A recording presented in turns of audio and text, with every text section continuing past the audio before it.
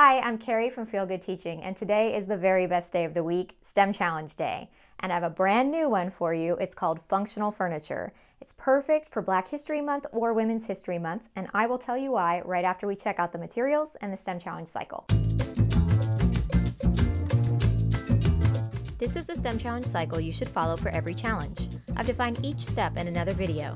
You'll find a link to that video in the description below. This challenge is inspired by one of the very first African American women to obtain a U.S. patent for her invention. Her name was Sarah E. Goode, and her invention was the folding cabinet bed.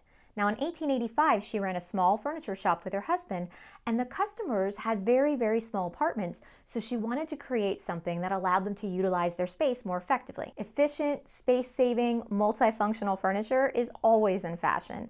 So, with this challenge, we're going to have the students create a piece all their own.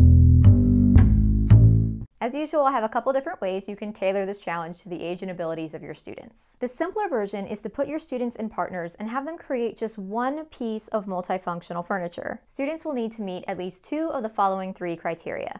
The furniture must convert or transform, save space, or serve more than one function. Where functions are concerned, the more the merrier. As far as constraints, you always have time and materials, but in addition for this, you can either have the students build to scale or at least give them a size constraint, no dimension may exceed 6 or 8 inches.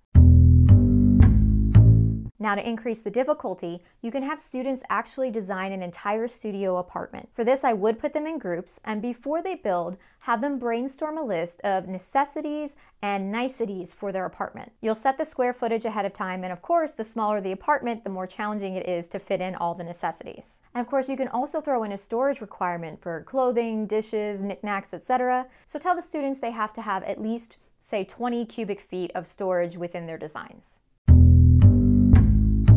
To measure results on this, simply have the students list out whatever furniture pieces they made and the functions that each piece serves. I wouldn't typically treat this challenge as a competitive one, but if you would like to, or you're just looking for a quantitative measure, what you could do is have students count up the number of furniture pieces they created, which might just be one, and then count up all the functions that that piece serves, and then simply do a subtraction problem. Functions minus furniture pieces, with higher scores being the goal.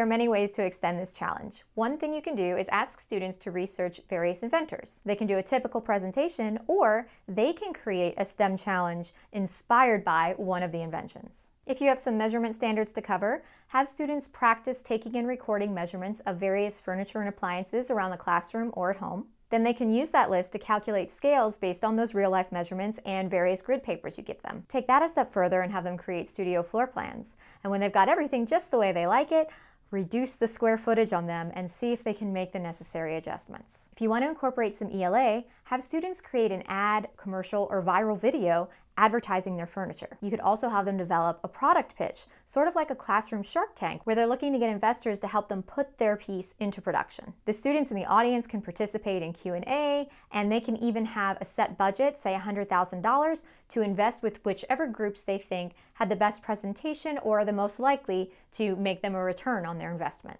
So you're all set. You are ready to do this challenge in your classroom on your own. But if you want to save a whole lot of prep time, check out the resource. This resource contains everything you need, including modifications for use with 2nd through 8th graders. You'll still need to gather the simple materials, of course, but the rest has been done for you.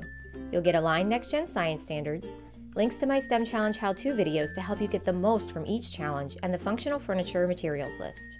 In teacher tips, you'll find premise and setup, how to increase or decrease difficulty through the criteria and constraints list, measuring results, and cross-curricular extension suggestions. You'll find two editable criteria and constraints lists so you can tailor the challenge to your students. For student handouts, there are two versions, four-page expanded room for response for younger students and a two-page condensed space paper saver version. You'll also find a set of group discussion questions. In the optional design sheets, you'll find necessities versus niceties lists, furniture information, and furniture measurement lists.